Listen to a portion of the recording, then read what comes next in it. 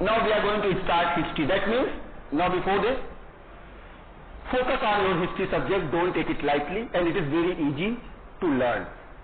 Now, this history is called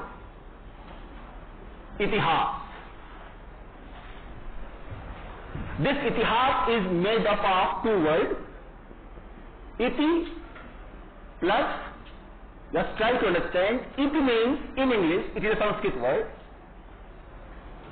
it means what so ever wherever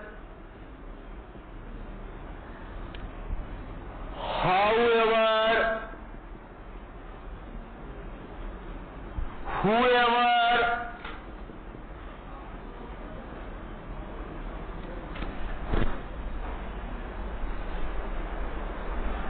जो कुछ भी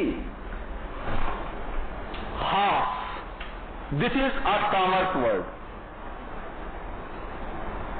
you use the word term depreciation half that means like you buy a car this year you are paying something some amount as a premium of your insurance next year the price value of the car would be depreciated and then we'll say that this much depreciates.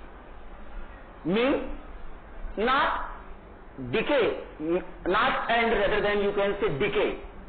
Slowly, slowly, loss, slowly, slowly.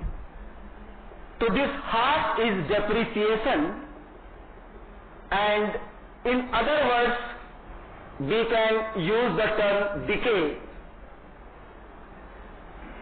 Now if it is preserved, it would be for a long time and if it is not preserved, it would came to an end. Am I right or wrong? For example, this class is there.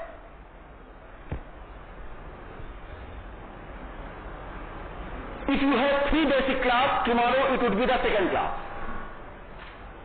One class depreciation. A day after tomorrow, two class depreciation. After the class, if they are providing it for the other batches, it would be continued. Otherwise, it would be came to an end and will become, listen to me, history for you, history for me, history for unique picture. Means whatever the event is there right now has been over. This is history. Clear? Now, this history has certain characteristic.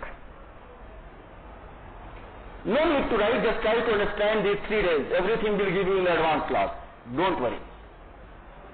Number one characteristic that history is characterized by time and then history is characterized by period. And then third, there is always elements of changes and